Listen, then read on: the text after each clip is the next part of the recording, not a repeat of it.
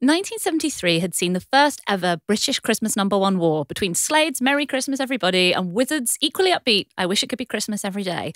And so the following year, chart topping glam rockers Mud seemed like a natural choice to punt for the top spot, which they did with an unusually doleful Elvis pastiche, Lonely This Christmas, which reached number one today in history in 1974. Yeah, and to say that the preceding 12 months had been good for Mud would be a bit of an understatement. And now, look, they'd started the year with 1974's biggest seller, uh, which was Tiger Feet.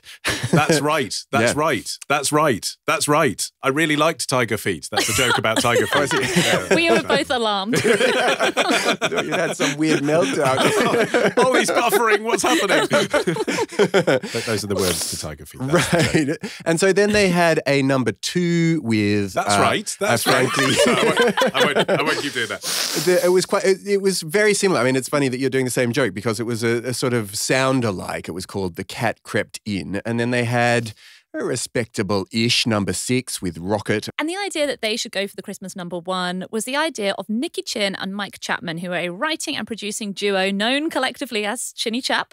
They had been writing for glam rock acts, The Sweet and Suzi Quatro. I mean, they thought, let's go in, let's do a Christmas hit, you know, because I was surprised 1973 was the first time there were, you know, there had been Yeah. Christmas themed songs before, Dickie Valentine, Christmas Alphabet Right. back in the 50s. Yeah. But this was the start of the battle for the number one Which we're still in. Christmas. I mean, it's an era Yeah. that here in Britain is still a thing. Like people who don't pay attention to what's at number one for the rest of the year will read a newspaper article at least about what is going to be the Christmas number one. And go, They'll "No, have- never heard of it. They'll have an interest in it. They'll say, "Oh, things aren't as good as they used to be when I was a kid." Who is this rapping man? Um, and of course, the other big contender was "Wombling Merry Christmas" by the Wombles. There was Christmas Song by Gilbert O'Sullivan and Yeah. Hey Mr. Christmas by Showaddywaddy. Both feel very 70s. There was also, good lord, Father Christmas, Do Not Touch Me by The Goodies, which is about a young I- woman I- being sexually assaulted in her home by Santa. But looked at now, even though you'd think the Wombles have the credentials for the kids going out and buying the, the songs, Mud are kind of like the perfect band for a Christmas number one because they were once described as the carry on team of rock and roll.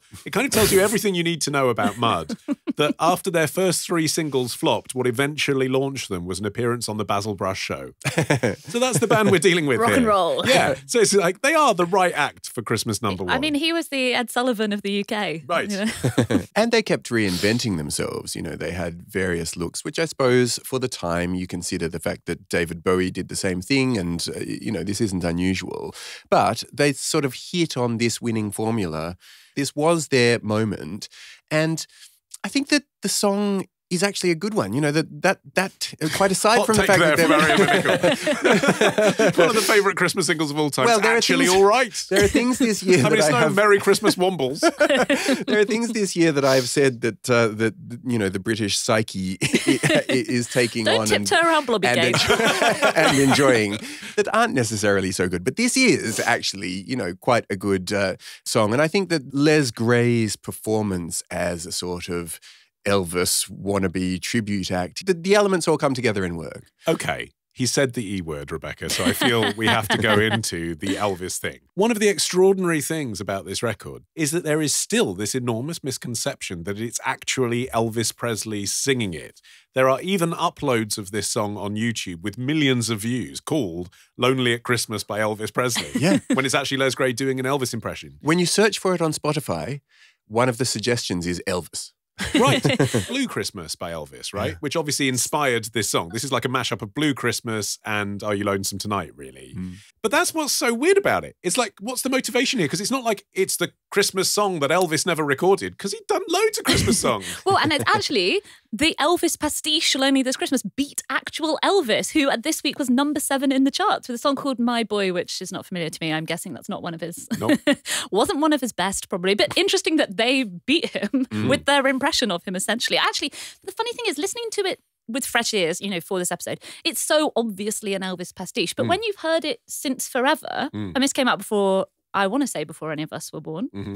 Uh, Arion's not that old. right. Just about get through with that. looking Yeah. guys. But when you've been hearing it forever, like it's so easy to miss that context. I don't think I've ever consciously thought this is an Elvis pastiche, even though when you listen to it musically, that's clearly what it is. Mm. But it's so part, you know, of the Christmas fabric. And the Elvis thing was never explicitly explained at the time either.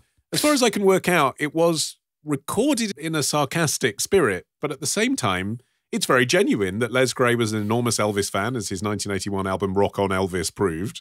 You know, he liked singing like Elvis. And actually, if you listen back to all the other Mud songs, he sounds a bit like Elvis. It's just that on this occasion he was allowed to let rip and fully do it. Mm. So it's kind of, again like everything to do with them. They're kind of joking, but they're kind of a serious band as well. Like I don't think they knew what they were doing. And w- And we're right in the middle of the 1950s revival, which occurred in the 70s, where you See had also our episode on Grease. Yeah, so you had Grease, you had Happy Days on the TV, and the chart at the time was full of retro covers. So in the mid 70s, you had Ringo Starr's cover of You're 16, you had the Carpenters' cover of Please Mr. Postman. Even Mud had done Oh Boy, a cover of the Buddy Holly and the Cricket Which song. is terrible. And then you had stuff like Crocodile Rock, which was obviously a retro inspired new track. Mm. And then you had new hits from rock and roll stars of the 50s. So My Dingaling was the number one UK single of 1973. It was just this really odd music era where one week Slade's Come Feel the Noise was number one. And then the next week it was Donny Osmond's cover of a Johnny Mathis ballad from 1956 called The Twelfth of Never. Like that's what was happening musically at the time.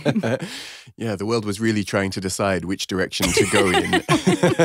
I know we're starting to see like 2000s fashion revivals now, but I can't imagine seeing a 2000s music revival or even a 2010s music revival mm. happening now. But also, mm. and not so specifically and obviously aping the style of an icon from that period.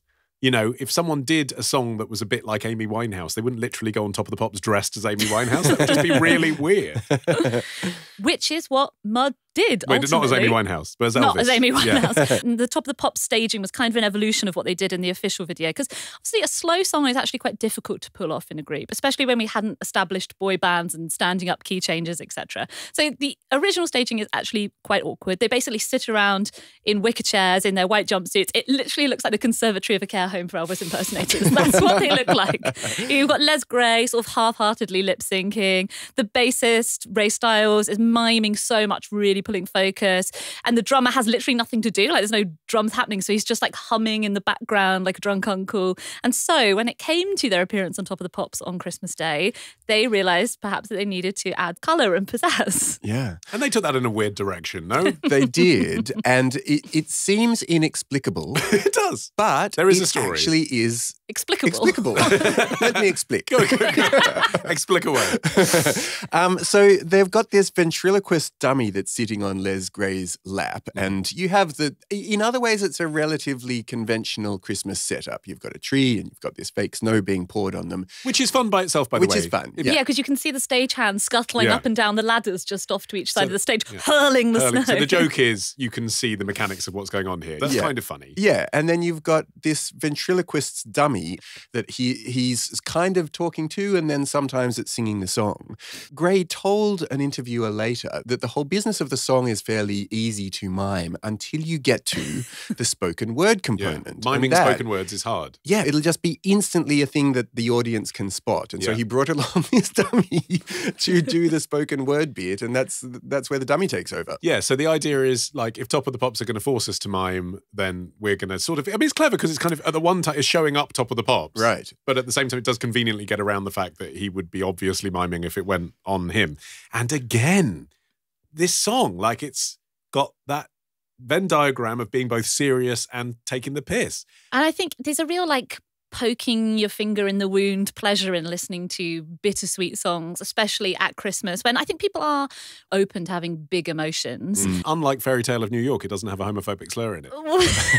So you've got you've got the downbeat That's lyrics, useful. but Yeah, I mean, you know, pretty don't feel really dirty for the time afterwards singing period. along. Yeah. Yeah, and I mean, obviously, yeah, Fairy Tale of New York being a big one. Obviously, Blue Christmas, the you know the original Elvis Christmas song that he actually did sing. Even stuff like um, you know, like Little Drummer Boy, Peace on Earth. There's like Mm. a melancholy to it. There's a minor key aspect. Even Last Christmas, like that's a jolly upbeat song, but you know the lyrics are about being betrayed and abandoned at Christmas. Mm. you know, even stuff like I remember buying Mad World by Michael Andrews and Gary Jules. I remember literally listening to it in my dark bedroom and thinking about like how soulful I Yeah, was. yeah, yeah. and then your mum said, Rebecca, turkey's ready. You went skipping down the stairs in your pajamas. I love Christmas.